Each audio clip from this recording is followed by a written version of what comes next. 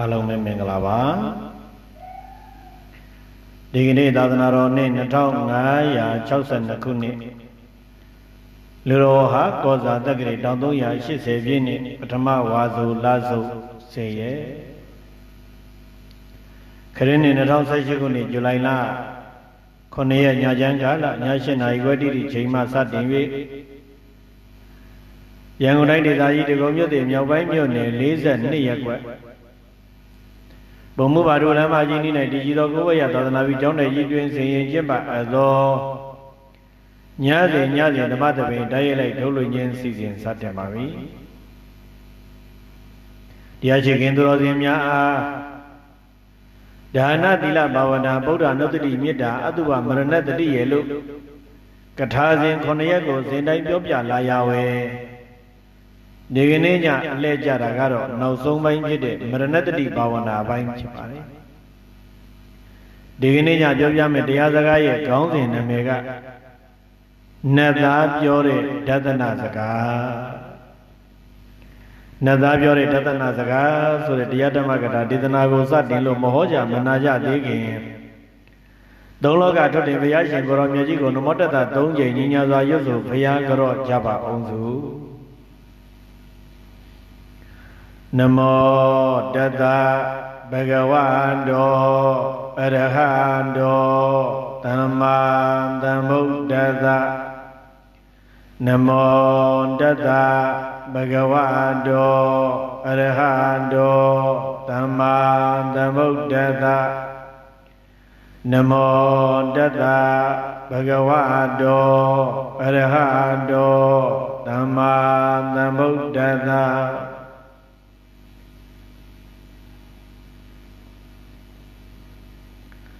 တရားချစ်ခင်သူတော်စင်ပြိဿအပေါင်းသူတော်ကောင်းတို့ဒီကနေ့ညပြောပြမယ်တရားစကားရဲ့ခေါင်းစဉ်နာမည်ကနတ်သားပြောတဲ့ဒသနာစကားလို့အမည်ရှိပါတယ်ဦးဇင်းတို့ငယ်ငယ်တုန်းကဓမ္မဂရိကဆရာတော်တစ်ပါးဟောကြားတော်မူခဲ့တဲ့တရားတစ်ပုဒ်ထဲကကြပြလေးတစ်ပုဒ်ကိုအလွတ်ရရှိခဲ့မှုပါတယ်အဲ့ဒီကြပြလေးကဘာလဲဆိုတော့ နာယီဣဆက်တစ်ချက်ချက်စင်ဆက်လှဲ့လေဟံကုသိုလ်ပညာဥစ္စာရှာပမာနီယူယံနိုင်လေးတစ်လုံးဟာကြည့်လိုက်တော့တာဘာမှမရွေ့မလျာရက်မြဲရက်နေတယ်လို့ထင်ကြရပြီမဲ့ တကယ်တမ်းမှာတော့သူ့ရဲ့ဆက်ကလေးကတစ်ချက်တစ်ချက်ချက်ချက်ချက်ချက်ချက်ချက်ချက်မြည်ပြီးတော့ရွေလျာပြောင်းလဲနေတာဖြစ်ပါတယ်ရုတ်တရက်ရဲ့ကြီးလိုက်ရင်ဘာမှမသိတာလောက်အောင်လက်တံတို့လက်တံရှည်တွေကငြိမ်သက်နေတတ်ကြပါမယ်စက္ကန့်ကိုပြတဲ့လက်တံတို့ကလေးကတော့အမြဲမပြတ်ရွေလျာနေတာပဲပေါ့အဲ့ဒါပြင်ဗ မာပြည်မှာထင်ရှားတဲ့အရာဝတီကြီးကိုပဲကြည့်လိုက်တော်သလင်းမြစ်တွင်သင်ပြူးခင်းဆိုသလိုဖြူစင်ဖွေးလွှနေတဲ့ရည်တွေဟာသင်ပြူးပြာကြီးတစ်ချက်ခင်းတတ်လိုက်တယ်လို့ပဲအေးဆက်ကျူလွှငြိမ်သက်စွာရှိနေတာကိုမြင်ကြရမှာပါဒါအပြင်ကောင်းငင်ကနေနေမင်းကြီးတွေလာမင်းကြီးတွေတစ်ပင်ရေမြေတောတောင်တွေအားလုံးဟာဘုံမှန်ရှိသဘောတရားရနေ့စဉ်နဲ့မြ နေတတူဝတွေ့မြင်နေကြရတာပဲပေါ့ဒီလိုပါပဲဥစဉ်တို့တွေသူတော်ကောင်းတို့တွေရဲ့ခန္ဓာကိုယ်ကြီးကိုကြည့်လိုက်ရင်လေအသက်အရွယ်တွေကြီးရင်သွားကြတာမှန်ပြီမဲ့အမြဲတမ်းဒီတိုင်းပဲရှိနေတာလို့ထင်ကြရတာပါနာယီလက်တန်ရှည်ရုတ်တရက်ရွေးတာကိုမမြင်ရတယ်လို့ပဲပေါ့ နာယီလက်တံရုတ်တရက်ရွေ့တာကိုမမြင်ရမထင်ရပြီမဲ့နာယီကိုနားလေးနဲ့ကဲပြီးတော့နားထောင်လိုက်ရင်တော့စက်တန်ကတစ်ချက်ချက်မြည်နေတာကိုကြားကြရမှာပေါ့တန်လေးတွေကတော့မနာမရဲ့ဒလဇက်ရွေ့နေကြပြောင်းနေကြတာပါဒီလိုပါပဲသူတော်ကောင်းတို့ ဦးဇင်းတို့တွေသူတော်ကောင်းတို့တွေရဲ့ဟောဒီယုံနဲ့ဓမ္မသင်္ကာရတရားတွေရဲ့ဖြစ်တဲ့အပြက်ဒီနှစ်ချက်ရေလျာပြောင်းလဲနေတာကိုလည်းဉာဏ်ပညာလေးနဲ့တတိနဲ့ကပ်ပြီးတော့ရှုမှတ်စောင့်ကြည့်ပေးမှသာလျှင်သိနိုင်ကြမြင်နိုင်ကြမှာပါကိုကသတိထားသည်ဖြစ်စေသတိမထားသည်ဖြစ်စေကိုကစောင့်ကြည့်သည်ဖြစ်စေစောင့်မကြည့်ပဲပြစ်ထားလိုက်သည်ဖြစ်စေ ဟောရိနာယီလက်တန်လေးတွေကလည်းတစ်ချက်ချက်နဲ့ရှေ့ကိုသွားမြဲသွားနေကြတာပါပဲဟောရိယာဝရီမြကြီးတဲ့ကရေတွေကလည်းအထက်ညာကနေအောက်အခြေကြီးကိုတသွင်သွင်စီးစင်းမြဲစီးစင်းနေကြတာပါပဲနေမင်းရာရှေ့ရက်ကနေထွက်ပေါ်ပြီးတော့နောက်ရက်ကိုတရွေ့ရွေ့သွားတယ်ခန္ဓာဖြစ်စဉ်တဲ့ကယုံနဲ့ဓမ္မသင်္ကာရတရားတွေကလည်းဖြစ်ပြဖြစ်ပြနဲ့တစ်ချက်ချက်နဲ့သိမင်းစီကိုသွားနေကြတော့တာပါပဲ ဘဝဆိုတာဘာလဲဖြစ်ပေါ်လာတယ်ခဏလေးတည်နေတယ်ပြီးတော့ချက်ချင်းပျောက်ပြက်သွားတယ်ဒါပါမယ်ဥပရဲ့ထီရဲ့ဘေးရဲ့ဆိုတဲ့ချက်ကလေးတွေနဲ့ဖွဲ့စည်းထားတာဟာဘဝပါပဲမွေးဝါခြင်းနဲ့ဘဝခရီးတွေကိုစတင်ပြီးတော့တေဆုံးခြင်းဆိုတဲ့ပန်းတိုင်စီကိုခြီတက်ထွက်ခွာနေရရတာဘဝပဲပေါ့သူတော်ကောင်းတို့ ဟေမန္တသောင်းလာရာသီမှာမြက်ပြားလေးမှာနှင်းမုံလေးတွေတွဲခုန်နေကြတယ်မကြာမီနေထွက်လာတော့နင်းရည်ဥလေးတွေဟာအရေးပြောပြီးတော့ကြွေပြက်သွားကြတယ်အဲ့ဒါဟာဘဝပါပဲဘာမှမခိုင်မာတာမရေရတာမသိကြတာကြိုတင်မသိနိုင်တာအာမခံချက်မရှိတာဟာဘဝပဲ အဲလောက်တောင်မှမခိုင်မာမရေရာမတိကြအာမခံချက်မရှိတဲ့ဘဝမှာတောင်မှငါကွတာဝအာဂလို့လက်မထောင်ပြီးတော့ငါတကောကောကောနေကြတာဟာဖြင့်အလွန်ရည်စရာကောင်းလာပါတယ်သူတော်ကောင်းပုံမြင်လေးတွေပြောပြပါမယ်ဟိုးရှိရှိတော့ကပေါ့သူတော်တရလို့ခေါ်ရတဲ့တိုင်းပြည်ကြီးမှာဥရိယဗဒ္ဒရှင်ဘရင်နဲ့ ဥရိယဗဒ္ဒလို့ခေါ်ရတဲ့လွန်တရားချောမောလှပတဲ့ညီဖျားလေးတို့တိုင်းပြည်အုပ်ချုပ်စိုးစံလို့နေခဲ့ကြပါတည်းအဲ့ဒီခေအဲ့ဒီခါတော့ကလူတွေရဲ့တက်တန်းဟာအနစ်9000တောင်မှအသက်ရှိတယ်သူရုံဏတိုင်းပြည်ကြီးကလည်းအတန်ကြီးကျယ်မင်းစည်းစိမ်ကလည်းကျွယ်ဝများပြားအသက်အရွယ်ကလည်းနှုတ်နဲ့ပြုံးမြင့်ကြတာဆိုတော့ တကယ်သာဆိုရင်ကာမဂုဏ်အာယုံရောမှမျောပါခံစားလို့ကောင်းလာတဲ့အခြေအနေပဲပေါ့ဒါပေမဲ့ဥရိယဘဒ္ဒရှင်ဘရင်ဟာဖျားလောင်းတော်ပါရမီရှင်ကြီးဖြစ်လေတော့မမေ့မလျော့တဲ့အပ္ပမာရသတိတရားတွေနဲ့မိဖုရားလေးကိုမြင့်မပြတ်သုံးမလေးရှိတယ်မိဖုရားလေးရေငါတို့တွေခုလိုကြီးကျယ်ခမ်းနားတဲ့မင်းစည်းစိမ်ကိုခံစားရရှိလာခဲ့ကြတယ်ဆိုတာဟာ အတိတ်ကပြုခဲ့မှုတဲ့ရှေးကောင်းမှုကုသိုလ်ကံတွေကြီးမားခဲ့ကြလို့ပါပဲ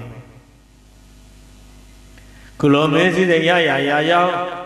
ကောင်းမှုကုသိုလ်တွေကိုမေ့နေကြလို့ကတော့မသိတော့ကြပါဘူးကုသိုလ်ကောင်းမှုတွေကိုတို့တွေတက်ဆန်းသမျှပြုလုပ်ကြစို့လို့အဲ့ဒီလိုတိုင်ပင်ပြီးတော့မင်းနဲ့မိဖုရားနှစ်ပါးလုံးဟာတက်ညီလက်ညီစွန်ကျဲပေးကံလူရန်ကြတယ် ဥပုသ်တရင်သီလစောက်တည်ရတယ်မြမသောတရား၄ပါးကိုပွားများလို့နေကြတယ်ဒီလိုနဲ့ဒါနသီလဘာဝနာတွေလုပ်နေကြရင်လည်းသူတို့နှစ်ယောက်ဟာဂရိတစ္ဆာလည်းပြုထားခဲ့ကြပါတယ်မိဖုရားလေးရေတို့တွေနှစ်ယောက်ခုလိုချစ်ချစ်ခင်ခင်ပျော်ပျော်ရွှင်ရွှင်နေကြတာတော့ကောင်းပါရဲ့ကွယ် ဒါပေမဲ့တေခြင်းတရားဆိုတာကြိုတင်ပြီးတော့မသိနိုင်တာမျိုးဖြစ်တဲ့အတွက်ကြောင့်ဘယ်လိုအရင်သိမယ်ဆိုတာကိုကြိုတင်ပြီးတော့မသိနိုင်ကြဘူးမို့လားဒါကြောင့်အရင်သိတဲ့လူကကြံရစ်တဲ့လူကိုရောက်လေရရဒါနဘဘွားကနေတတိတံဝေကရအောင်တတိပိစကား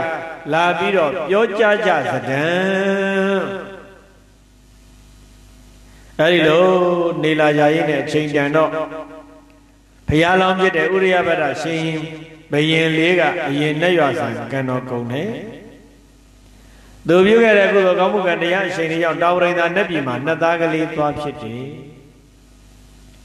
ဒီတော့သူကစဉ်းစားတယ်ဩငါကတော့နတ်ပြည်မှာနတ်စည်းစိမ်ခံစားနေပြီးတော့ငါရဲ့နမတော်လေးဥရိယဗဒ္ဓကိုလည်းပဲဒီလိုနတ်စည်းစိမ်တွေရစေခြင်းနဲ့သူဟာအရင်တိုင်း ကိုယ်တော်ကောင်းမှုဖြစ်တဲ့ဒဏ္ဍသီလဘာဝနာပေါင်းစုမြတ်ကောင်းမှုတို့ကိုမမေ့သေးတာတေချာရဲ့လားဆိုတာ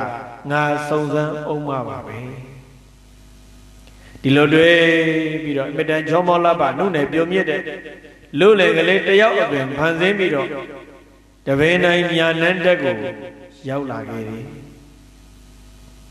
ဘုရားဗဒမင်းသမီးကလေးဟာသူ့ရဲ့မောင်တော်ဘယင်လေးမရှိတော့ပြီလည်းပဲ အလူတန်းလောက်တာမပြတ်ဥဒရင်သီလစောက်တည်တာမပြတ်မေတ္တာတရားပွားများတာကိုလည်းမပြတ်စေရပါဘူးတဲ့လုံမြဲပဲဒါအပြင်တပင်းတိုင်းမြန်နှန်းပေါ်ကိုဘယ်ယောက်ျားလေးမှမကက်ရောက်နိုင်အောင်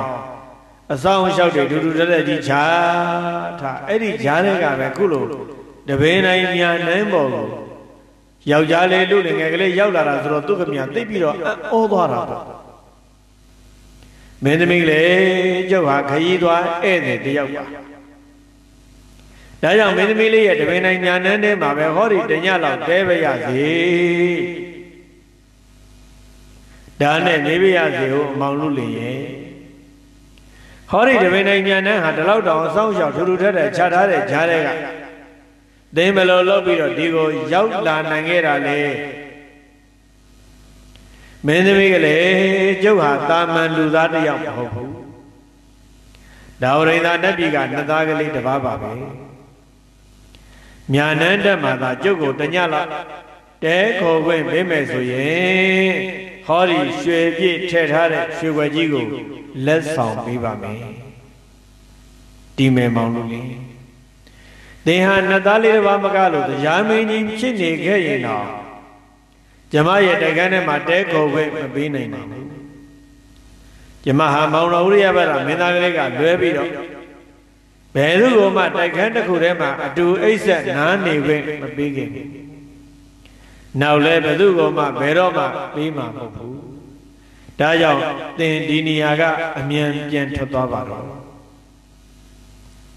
မင်းသမီးလေးကဒီလိုနေထုတ်လိုက်တော့နတ်သားလေးကအသာလေးလက်ပြန်လာခဲ့တယ် နောက်တညမှာလဲဆက်သွားတာပဲခွင်တောင်းတာအဲ့ဒီညမှာတော့မြို့ကကြီးထဲမှာရွှေတွေပြည့်ထည့်ပြီးတော့တောင်းဆိုတယ်တဲခေါ်ခွင့်မရတဲ့အပြင်စကားတော်မှလက်ခံမပြောတဲ့အတွက်ကြောင့်အသာလှည့်ပြန်ခဲ့ရပြန်ပါတော့တယ်ဒီလိုနဲ့တတိယညမှာကြေးကွက်ကြီးထဲမှာငွေရင်းကားတွေပြည့်ထည့်ပြီးတော့ယူလာခဲ့ပြန်တယ်ပြီးတော့သူကစတင်ပြီးတော့ကြိုတင်ပြောပါတော့ မင်းသမီးကလေးလူတွေဟာအာယုံ၅ပါးကာမဂုဏ်တရားတွေကိုမုံမုံမြင့်မြတ်ကြီးတတ်မှတ်ထားကြတယ်အင်မတန်လည်းပဲဆွဲလဲတက်မဲ့မမောတွေ့တာကြတယ်အဲ့ဒီအာယုံ၅ပါးကာမဂုဏ်တရားတွေကိုရရှိပိုင်းဆိုင်နိုင်ဖို့တချို့ဆိုတယောက်နဲ့တယောက်လိန်ကြညာကြတက်ကြဖြတ်ကြလုံနေကြရတာပါအဲ့လိုလူတိုင်းလူတိုင်းမမောတွေ့တာလှပါကြီးရဲ့ဆိုဒီအာယုံ၅ပါးကာမဂုဏ်တရားတွေကို မင်းသမီးကလေးကြမှာဘာကြောင့်များပယ်ရှားနေရတာလဲမင်းသမီးကလေးရဲ့မင်းသမီးကလေးဟာသူ့ရဲ့မေးကိုပြေဖို့တဲ့သူ့ကိုပြန်မေးဖို့စိတ်ဆောနေတယ်ဘာကြောင့်လဲဆိုတော့အဲ့ဒီနတ်သားလေးကတညတာနေခွင့်ရအောင်လက်ဆောင်တွေပေးတာတွေကနားမလည်နိုင်ကြဖြစ်နေလို့ပါပဲပထမရက်မှာရွှေခွက်နဲ့ရွှေပြည့်ဒုတိယရက်မှာငွေခွက်နဲ့ရွှေပြည့် တတိယရက်ကြတော့ကြီးခွက်နဲ့ငွေပြည့်တကယ်ဆိုရင်လက်ထိုးတွေလက်ဆောင်ပါတယ်ဆိုတာဟာတနေ့တဲ့တနေ့ပို့ပို့ပြီးတော့တိုးပေးကြရမှာမလားခုတော့သူလုံးပုံကကြာလေနဲလေဖြစ်နေတော့မင်းသမီးလေးကဒီမှာမေးပြန်မေးပရစေကိုအမောင်လို့လျင်ကျမတို့ရဲ့လူပြည်မှာမျိုးသားတယောက်ကမျိုးသမီးများကိုချစ်လို့ကြိုက်လို့နှစ်သက်တယ်ဆိုရင် တနေ့တဲ့တနေ့တန်ဖိုးကြည့်ရတယ်နဲ့ဒိုးပေးပြီးတော့ဆွဲဆောင်ဖျားယောင်းကြရစမြင်ပေါ့ဘယ်နဲ့ရှိကြမှာရွှေကနေငွေငွေကနေကြေးဘာကြောင့်ကြာလိမ့်နေလိဖြစ်နေရတာလေတဒါရှင်တို့ရဲ့နတ်ပြည်ရဲ့ထုံတန်းစင်လာဒလိပဲလားမင်းသမီးကလေးတဲ့လက်ဆောင်ပေးတယ်လက်ထိုးတယ်ဆိုတာဟာ တနေ့တဲ့တနေ့ပိုတန်ဖိုးပိုကြီးတဲ့အရာတွေနဲ့ပေးကမ်းဆွဲဆောင်ဖြားယောင်းရတယ်ဆိုတာတော့မှန်ပါတယ်ဒါပေမဲ့ဒါဟာလူတွေတတ်မှတ်ချက်တစ်ခုမျှတာပါပဲလောကမှာတကယ်တမ်းဖြစ်ပြနေတာတွေကဒီလိုမဟုတ်ဘူးလေမင်းသမီးလေးရဲ့မင်းသမီးလေးရဲ့ခန္ဓာကိုယ်ကြီးဆိုတာဟာတရက်တရက်ပို့ပြီးတော့ရုပ်လျော့လာတယ်အိုမင်းလာတယ် အရွယ်တွေကပုတ်ပုတ်ပြီးတော့ကြာစင်းအုံမင်းလာတယ်ရုပ်စင်းတွေကပုတ်ပြီးတော့ရော်ရဲပျက်စီးလာတယ်နေရမှာတဲ့တရားမှာကဘိုးပြီးတော့နီးကပ်လာတယ်လဘနုနယ်ပြမြစ်တာတွေကုံဆုံးရော့ပါပြီးတော့တေရင်တရားနဲ့ပုတ်ပြီးတော့နီးကပ်နေတဲ့အတွက်ကြောင့်အဲ့ဒီအဖြစ်ပြသဘောနဲ့ကိုက်ညီအောင်လက်ဆောင်ကိုလည်းရှော့ရှော့ပြီးတော့ပေးရတာပေါ့မင်းသမီးကလေး တကယ်တော့မင်းသမီးလေးဟာပထမရက်ကပို့ပြီးတော့လွတ်ပြိုတယ်ဒီတော့ရွှေခွဲနဲ့ထိုက်တယ်နေမင်းသမီးလေးကဒုတိယရက်ရောက်လာတော့နည်းနည်းအိုသွားပြီတဲ့ဒီတော့ဈေးရောက်သွားပြီငွေခွဲနဲ့ပဲထိုက်တယ်တော့တယ်တတိယရက်ရောက်လာပြီဆိုပြီးတော့ပို့ပြီးတော့ပို့ပြီးတော့အိုသွားခဲ့ပြီတေကိုလည်းပို့နီးသွားပြီဒါကြောင့်မို့လို့ကြေးခွက်လောက်ပဲတန်တော့တယ် ဒါကြောင့်ကြေးကွက်ပဲပေးရတော့တာပေါ့မင်းသမီးလေးအလိုဒါဆိုရင်သင်ဟာဘာတူပါလဲမင်းသမီးကလေးကျုပ်ဟာသင်ရဲ့မောင်တော်ဥရိယဗတ္တရှင်မရင်လေးပါပဲမင်းသမီးလေးတရားတော်တွေကိုလက်တွေ့လိုက်နာကြင်ညာနာမှာမေ့မမေ့လုံမလုံသိရင်နာနဲ့တမင်တကာစုံစမ်းခြင်းလို့ လာစုံစမ်းတာပါခုလိုပဲဆက်ပြီးတော့တရားကျင့်ပြီးတော့နေရပါတော့ဒီလိုပြောပြီးတော့နှစ်သားလေးကနတ်ပြည်ကိုပြန်သွားပါတော့တဲ့ဒီနေရာမှာမသားကြရမှာကတရားကျင့်ခင်သူတော်စင်များဒီကနေ့လူတွေတော်ဝါတွေရရှိကြတဲ့ဟောဒီယုံနာနမသင်္ကာရခန္ဓာကိုယ်ကြီးဆိုတာဟာဥရိယဗဒနှစ်သားလေးပြောသလိုပဲတနေ့တဲ့တနေ့ပို့ပြီးတော့အိုလာခဲ့တယ် တနေ့တဲ့တနေ့ပို့ပြီးတော့နာလာခဲ့တယ်တနေ့တဲ့တနေ့ပို့ပြီးတော့သေဖို့နီးလာခဲ့တာပဲရှိပါတယ်ပို့ပြီးတော့တန်ဖို့တက်မလာပါဘူးတနေ့တဲ့တနေ့တရွေ့ရွေ့ယွင်ယိုနောက်ပြန်လို့မပြောပါနဲ့ရှေ့ကိုသာအိုစမြဲဆိုတဲ့အတိုင်းပဲအခုရောက်ရှိနေတဲ့အခြေအနေတက်တော့ဘယ်သူမှပို့ပြီးတော့မနှုတ်ပြတော်ရင်တော့ပါဘူးပို့ပြီးတော့သာအိုမာနာမာသေမာပဲရှိပါတော့တယ် ဘယ်လူဘယ်နဲ့ဘယ်ပြမဘယ်တော်ဝါကမှရှောင်လဲလို့မလွတ်နိုင်တဲ့တည်ရင်တရားဆိုတာကြီးကိုသူကလက်မဦးသေးခင်ကတည်းကကိုကဥအောင်သိမဲ့စင်ញင်ပွားများထားပြီးတော့ကောင်းမှုကုသိုလ်တွေကြိုတင်လှုပ်ထားကြရမှာပေါ့ယုတ်ခန္ဓာကြီးကတစားတဲ့တစားရော့ကြပျက်စီးသွားပြီမဲ့အသိလိမ္မာဉာဏ်ပညာတွေသမထဥပဒနာဘာဝနာကုသိုလ်ကံတရားတွေကိုတော့ပို့ပြီးတော့မြင့်တက်လာအောင် ကြိုးစားကြရမှာပဲပေါ့တရားချစ်ခင်သူတော်စင်ပြိဿအပေါင်းသူတော်ကောင်းတို့မိယထာကြီးစီးသွားခဲ့ကြတာကိုမှတ်မိသေးတယ်မို့လားစားတင်ဒုက္ခရာပင်မဗုဒ္ဓယုံကြီးကနေပြီးတော့မိယထာကြီးဟာပေါ်ဘူးပေါ်ဘူးနဲ့ဩဇာနေနေဟီးပြီးတော့ထွက်လာလိုက်တာ တဗုဒ္ဓရောက်တော့တခါဆိုင်တဗုဒ္ဓရောက်တော့တခါဆိုင်နဲ့ဂျုံဂျုံကြက်ကြက်ဂျုံဂျုံကြက်ကြက်နဲ့ခုံမောင်းပြီးတော့သွားနေကြတာလေညနေပိုင်းကထွက်လာခဲ့တဲ့မန္တလေးရန်ကုန်အစုံစံယထာကြီးဟာနောက်တနေ့မနက်မိုးလင်းတော့လမ်းဆုံးဖြစ်တဲ့ရန်ကုန်ဘုရားကြီးကိုဆက်ရောက်ခဲ့ပြီဆိုတော့ဦးဇင်းတို့တွေတော်ကောင်းတို့တွေရဲ့ဘဝတွေဟာလည်းပဲမိယထာကြီးတစည်းစီးနေရတယ်လို့ပါပဲ ဇာတိဆိုတဲ့ဘုရားယုံကြီးကနေထွက်လာလိုက်တာယာတိနဲ့ဇရာဆိုတဲ့လမ်းဆုံးဖြစ်တဲ့မရဏဘုရားကိုမကြာမီဆက်ရောက်ကြရတော့မှာပေါ့အလကိုရှာဘယ်မှမမတွေ့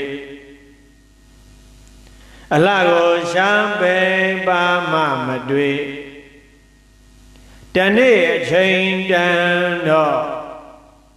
တနေ့တနေ့တနေ့အချိန်တန်တော့ဇစုံညံညံငိုတန်ကြားရတယ်ကွယ်ယထာ၍၍တဲ့ကြပြဆရာကြီးတောင်းလွယ်ဆိုရေးစားခဲ့တဲ့ကြပြလေးတစ်ပုဒ်ဖြစ်ပါတယ်ယထာဘုရားစတော်မှာငိုတန်လေးနဲ့ထွက်ခဲ့ရသလိုမရဏဘုရားအဆုံးကိုစိုက်ပြီဆိုတော့လေငိုတန်လေးတွေပဲကြံခဲ့ကြတော့တာပါပဲ အငိုနဲ့စတင်ဝင်လာခဲ့ကြပြီးတော့အငိုနဲ့အဆုံးသက်ခဲ့ရတဲ့ဒုဒရရဲ့ဘဝတွေမှာအငိုနဲ့မဆုံးပဲအပြုံးနဲ့အဆုံးသက်နိုင်အောင်ကြိုးစားရဖို့လိုအပ်လာပါပြီဘဝဓာနေမညိုရင်မှာအလှဖြာရွှေအိုရောင်တန်းအောင်ကြိုတင်လှုပ်ဆောင်ခဲ့ကြဖို့ပါပဲ